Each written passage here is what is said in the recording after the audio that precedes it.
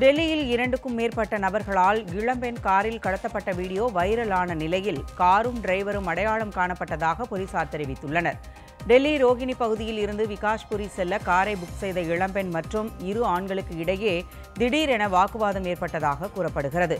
இதனால் அப்பெண் அங்கிருந்து தப்பிக்க முயன்றபோது இரு ஆண்களும் அந்த பெண்ணை வலுக்கட்டாயமாக காரில் ஏற்றி கடத்திச் சென்றனர். போலீசாரின் விசாரணையில் காரும் அதன் டிரைவரும் அடையாளம் காணப்பட்ட நிலையில் இளம்பெண் என்ன ஆனார்? அவரை கடத்திய இளைஞர்கள் யார் என போலீசார் விசாரணை நடத்தி வருகின்றனர். அதே சமயம் அது ரீலாக இருந்தால் கடும் நடவடிக்கை எடுக்கப்படும் என போலீசார் தெரிவித்துள்ளனர்.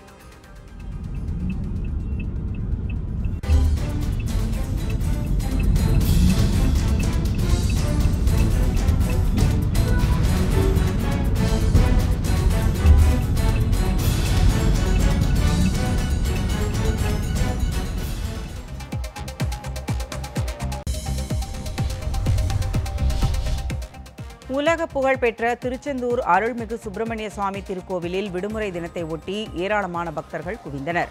முருகப்பெருமானின் அறுபடை வீடுகளில் இரண்டாம் படை வீடான திருச்செந்தூர் அருள்மிகு சுப்பிரமணிய சுவாமி திருக்கோவிலில் நாள்தோறும் ஏராளமான பக்தர்கள் சுவாமி தரிசனம் செய்து வருகின்றனர். ஞாயிற்றுக்கிழமை விடுமுறை தினமான இன்று அதிகாலை நான்கு மணிக்கு கோவில் நடை திறக்கப்பட்டு நான்கு முப்பது மணிக்கு விஸ்வரூப தீபாராதனையும் ஐந்து மணிக்கு உதய மார்த்தாண்ட அபிஷேகமும் நடைபெற்றது. தமிழகத்தின் பல்வேறு பகுதிகளில் இருந்து வந்த ஏராளமான பக்தர்கள் அதிகாலை முதலே கடலில் புனித நீராடி நீண்ட வரிசையில் காத்திருந்து சுவாமி தரிசனம் செய்தனர்.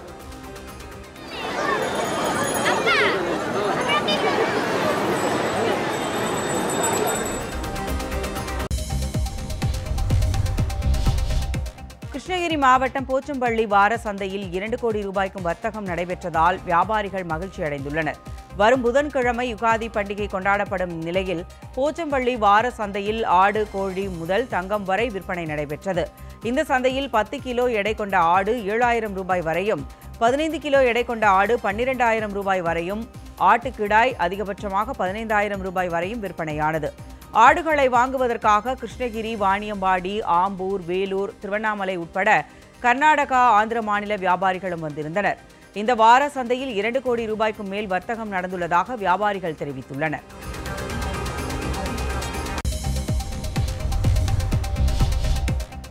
டெல்லி சராய்காலே கான் பகுதியில் நடைபெற்று வரும் மெட்ரோ ரயில் பணிகளுக்கான கட்டுமான தளம் அருகே பிளாஸ்டிக் பையில் துண்டு துண்டாக வெட்டப்பட்ட பெண்ணின் சடலம் கிடந்ததால் பொதுமக்கள் அதிர்ச்சி அடைந்துள்ளனர் இதுகுறித்து தகவல் அறிந்து வந்த டெல்லி போலீசார் துண்டு துண்டாக வெட்டப்பட்டு இரு பிளாஸ்டிக் பைகளில் அடைக்கப்பட்ட சடலத்தை மீட்டு உடற்கூராய்வுக்கு அனுப்பி வைத்தனர்.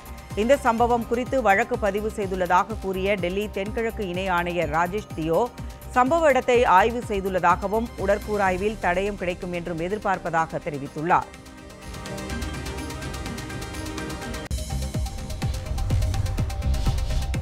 டெல்லியில் சதாப்தி விரைவு ரயிலில் ரயில்வே அமைச்சர் அஸ்வினி வைஷ்ணவ் ஆய்வு மேற்கொண்டார். டெல்லி அஜ்மீர் செல்லும் சதாப்தி விரைவு ரயிலில் ஆய்வு மேற்கொண்ட அவர் பயணிகளிடம் வசதிகள் குறித்து கேட்டறிந்தார். இதில் ரயில்கள் உரிய நேரத்தில் இயங்குவதாகவும் முன்பை விட தற்போது ரயில் தூய்மையாக உள்ளதாகவும் பயணிகள் தெரிவித்தனர். இதனைத் தொடர்ந்து டெல்லி ஜெய்ப்பூர் இடையே வந்தே பாரத் ரயில்கள் சோதனைக்கு பிறகு விரைவில் இயக்கப்படும் என ரயில்வே அமைச்சர் அஸ்வினி வைஷ்ணவ் தெரிவித்துள்ளார்.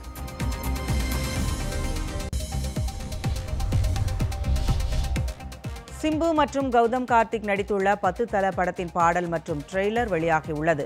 ஓபிலி கிருஷ்ணா இயக்கத்தில் சிம்பு நடிக்கும் பத்து தல படத்தின் இசை மற்றும் ட்ரெய்லர் வெளியீட்டு விழா சென்னை நேரு உள் விளையாட்டு அரங்கில் நடைபெற்றது. இந்த படத்தில் நடிகர் கௌதம் கார்த்திக் பிரியா பவானி சங்கர் டிஜே அருணாச்சலம் கலை அரசன் ரெடின் கிங்ஸ்லி உள்ளிட்டோர் நடித்துள்ளனர்.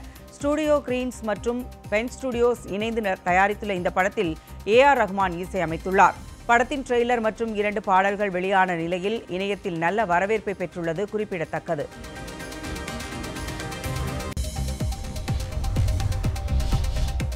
சந்திரமுகி டூ படத்தில் நடித்துள்ள லாரன்ஸ் கங்கனா ஆகியோரின் கதாபாத்திர தோற்றம் வெளியாகி இருக்கிறது. கடந்த இரண்டாயிரத்தி ஐந்தாம் ஆண்டு ரஜினிகாந்த் நயன்தாரா ஜோதிகா பிரபு வடிவேலு உள்ளிட்டோர் நடிப்பில் பி வாசு இயக்கத்தில் சந்திரமுகி திரைப்படம் வெளியாகி மிகப்பெரிய வெற்றி படமாக அமைந்தது. பதினெட்டு ஆண்டுகள் கழித்து தற்போது இப்படத்தின் இரண்டாம் பாகத்தை ராகவா லாரன்ஸை வைத்து பி வாசு இயக்கி வருகிறார். லைகா தயாரிப்பில் உருவாகும் இப்படத்தில் நகைச்சுவை நடிகர் வடிவேலு மற்றும் ராதிகா லட்சுமி மேனன் மகிமா நம்பியார் முக்கிய கதாபாத்திரங்களில் நடிக்கின்றனர். இப்படத்திற்கு கீரவாணி இசையமைக்கிறார். இதனிடையே இதில் நடிக்கும் நடிகர் ராகவா லாரன்ஸ் நீண்ட தலைமுடியுடனும் சந்திரமுகியின் கடந்த கால தோற்றத்தில் கங்கனாவும் இயக்குனர் வாசுவுடன் பேசிக் கொண்டிருக்கும் புகைப்படம் இணையத்தில் வேகமாக பரவி வருகிறது.